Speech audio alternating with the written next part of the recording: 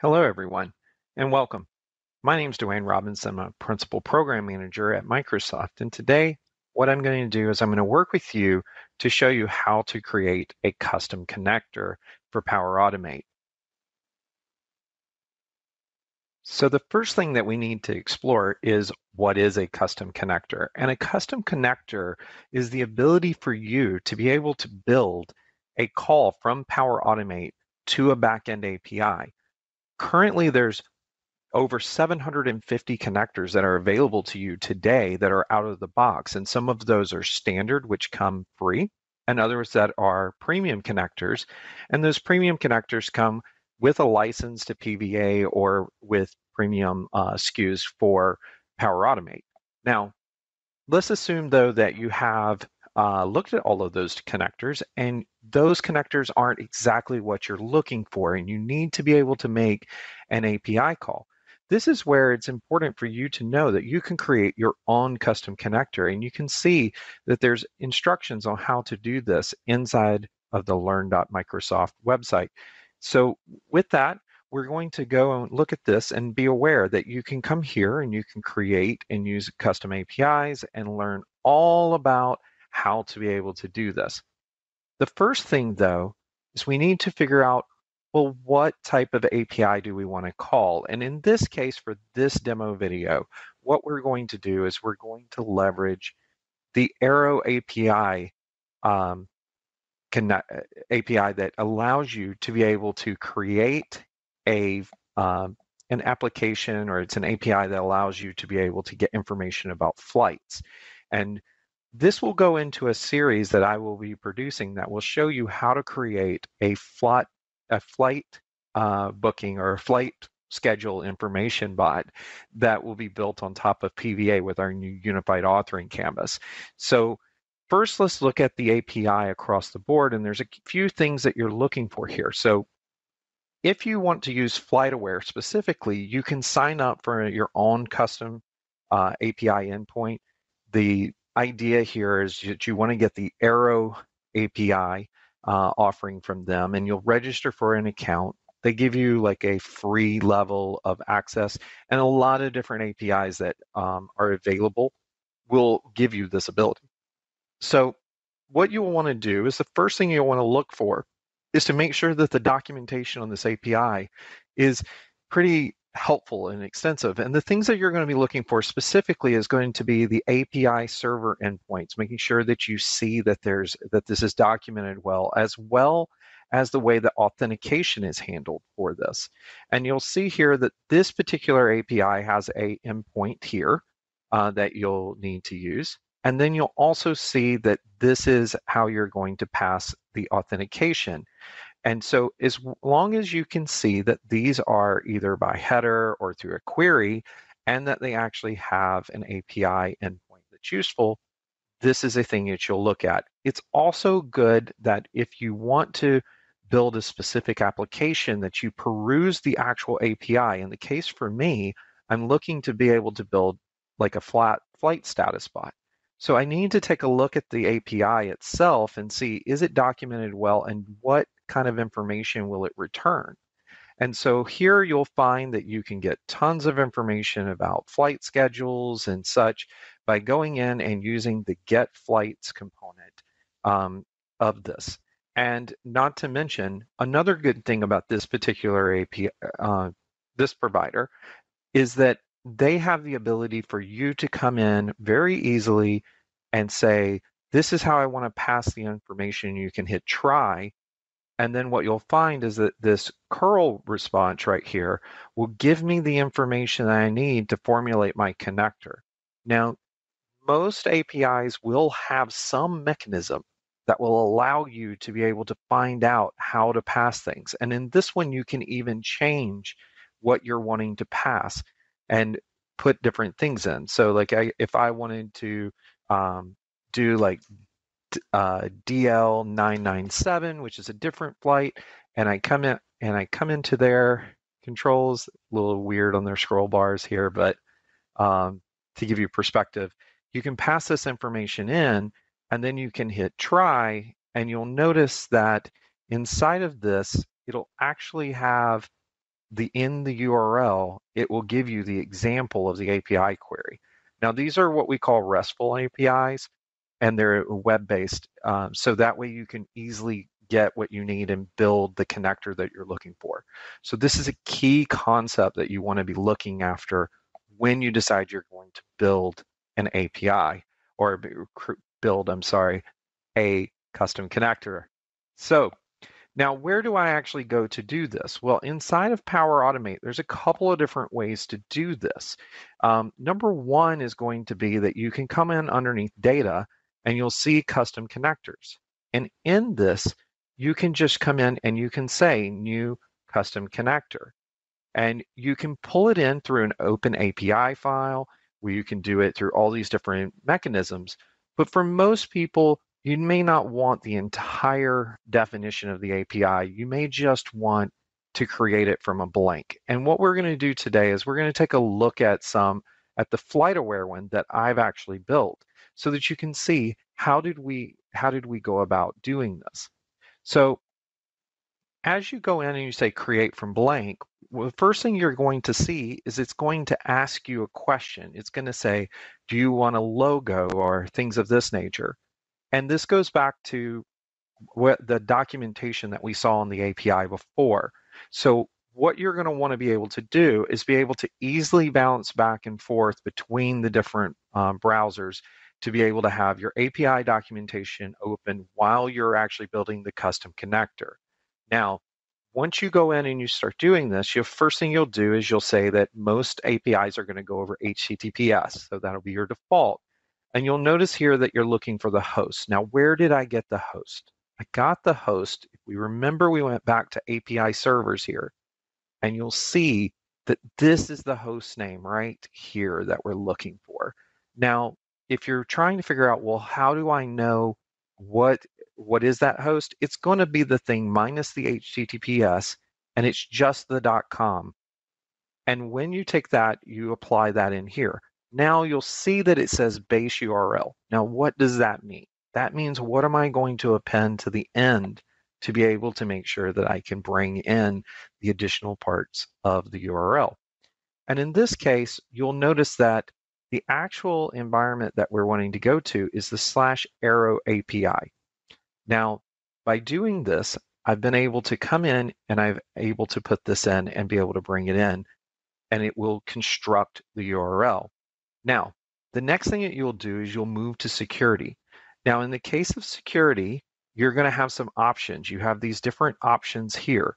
For most cases, you're going to see an API key. Now, if you don't have authentication, you can do no authentication, and there might be basic and things of that nature. But for most APIs that we're going to be dealing with, an API key is sufficient. So this here in the parameter label, this is what you want to call it. You don't have to call it API key. I just use API uh, space key here. And then you've got a parameter name. Well, what is the parameter name? Well, that is what the API is passing the key as. And as you can see here in authentication, it says right here that it's going to pass it this way. But it also says here that it's in the header, right? So you need to send X dash API key in the header. So now how do we do that in the connector? Well, it's right here. We pass the parameter that is going to be how we're going to send it, and then we're going to pass it in the header. So after you've done this and you've got that down, you get into the definition. And what I'm going to show you here is I'm going to show you that you have flights and schedule. And the reason you have flights and schedule is because when I was building this custom connector, I came in and I said, I want to do the flights. And you can see here, flights. And then I also will, where did schedules come from? And if I scroll all the way down in this API, you'll see schedules, right? So we're going to focus on the flights one for this particular demonstration. And what I'm going to do is I'm going to show you how to construct this. Now, in the case that I've already got this one, we'll take a look at this and we'll see, well, what is in here? Well, the, you'll see that I had flights. This is my name of it. You get a description. One common way to be able to get the description description is you can just pull it. You can just copy and paste it directly from the uh, the place where you're getting this. Now, if this is your own private API, you need to take care of that, right? So in this case, what I would do is I would call it flights and then the operation ID. Well, what is the operation ID? The operation ID is the thing past this. So if you'll notice that the URL as it gets constructed, and we'll look at this in just a second, is this is what's appended to the actual uh, HTTPS URL that we were building. So in the case of this, that's why we're calling it from there. That's where the flights comes from. Now you'll notice here that I have already created a get, which comes in and it fills out all this information. But let's just do a new one so that you can see how I would have formed this. So in the case of this, I would have said flights, and then I'd give it description. And then here we would do flights again. And then now you would have this where it's blank, right? And you would say import from sample. Now, this is where having a good API uh, on the back end. So if you're choosing between different providers of APIs, this is where documentation is king for you. So you go over and we look at this and we say, okay, we want to do this get flights and we want to be able to get this information. I'm going to need to pass the um, the basically the flight ID in this, and they give you an example of how this is going to be passed. So make sure you pay attention to how this can be passed. The other thing is there are additional pieces of information like what's the start time, what is the end time, um, for the query around this because that flight flight numbers are the same uh, each day, but they change. Uh, of course, you have a different flight every day, so the flight number is the same, but you need to give it the date when you're wanting this. In the case of what I'm doing uh, long term, is I'm going to give it today's date and tomorrow's date, so that way I can find out what's the most recent flight um, information. So, so with this, we hit the try button here and you'll see that this is going to give us this big long URL. So we're just going to copy all of that text. We're going to come back and we're going to be doing a get. So if you're not familiar with this, get is the most common way to be able to query to get information. If you're wanting to do a delete action, a post is uh, the ability to write um, and things of that nature. And you will see these different options, but primarily in most cases, you're going to be doing a get action unless you're writing back to it. In this case, what I do is I just paste in the entirety of that particular uh, curl command. And what you'll notice is that there's a whole bunch of extra stuff here because it's a curl command. So what I'm going to do is I'm just going to delete all of that off because at this point, this piece of information here is the actual end date right? And notice that it's in a, a format. Don't worry about the format. All you have to do with this is you do an open curly brace of that, and you can just say end date, and then close your curly bracket. Then go back and you get the other time, and you'll see this is what's ahead of the start. So we'll take it, we'll open a curly bracket, and we'll put start date. And then we'll close our curly bracket. And then notice that in the URL here is the sample that we put in of our flight. So in that case, we want to replace that and we're going to put in flight number. So once we do that, you can hit import and it will automatically generate everything you need to be able to build this. So you can see here, we're going to be having flight numbers, start times, and end times, and everything. And once you do this and you have this here, you'll see that I get this because of the fact that I don't have a unique identifier, but you'll want to hit save connector, and then you'll, or update connector as you go through and creating different actions. Now, once you've done this, you are actually done. You've created your connector. And in the case of doing this, what will happen is it will show up. I'm not going to save this now. It'll show up in here as a connector. If you want to download it, you can download it. So there's one last piece that I want to add, and that is if you are using PVA or Power Virtual Agents and you want to use this connector in conjunction with the solution, you do actually have to build the connector in a solution aware context. So in the case of this, in your, let's say that you're using PVA, you can come into the settings and you can go into um, your bot details. And one of the things you can do is you can say export and go to Power Apps uh, Solutions. Now, this is where you can see solutions. And in the case that you want to create a solution, in this case, I already have created a solution, but if I wanted to create another one, you would just say new, you would select your publisher, and you'd create a solution. But once you create a solution, such as this one, you can say add existing. And when you do that, you would add a chatbot to the solution. So that would put create a solution, put your chatbot in it. But now you need a custom connector. Well, you do new and under underneath automation, custom connector. And by doing it this way and creating it, and you'll see what it'll do, it'll take us right back to where we were.